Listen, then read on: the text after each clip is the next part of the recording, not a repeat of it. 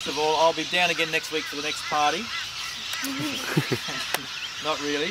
What I wanted to talk about with you is that um, as a group of people, you're working really well and you're making very good progress. Okay, really good progress. I think there's a couple of little things that you can really understand that would help you even more.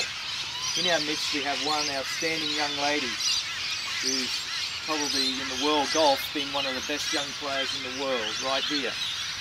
Okay, and I know Chris and myself been very fortunate enough to do lots of work with her, Chris especially.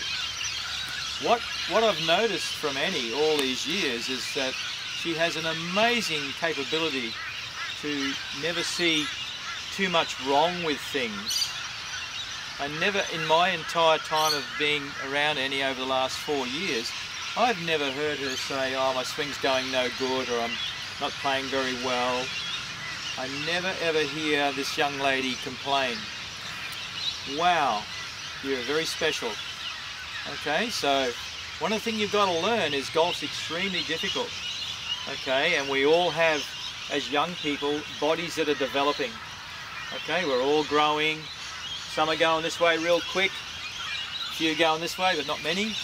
Um, mainly growing very tall very quickly, and your core body and brain is trying to keep control of all these muscles that are all getting out of shape and what have you as you become, um, you know, a young adult. And your golf swing can go off like that. It can be very difficult to do a good job. But if your attitude is good, if your mental stuff is good, it really helps you. Okay, so in Annie's case, I've watched her, you know, not swinging very well, but on many occasions go to tournaments and win with her B game.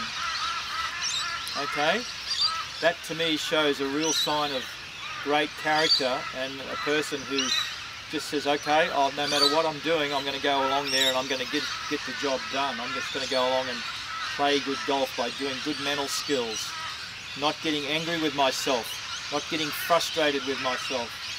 I'll just do what I have to do to get a par, okay? And that's what I find has been outstanding from Annie over these last four years that I've watched, okay? She continues to improve her swing and she's got a way to go yet to be a great swinger. But as a player, she's already very, very, very, very good, okay? So you've got to understand there's a big difference between having a great golf swing and being a great player, okay?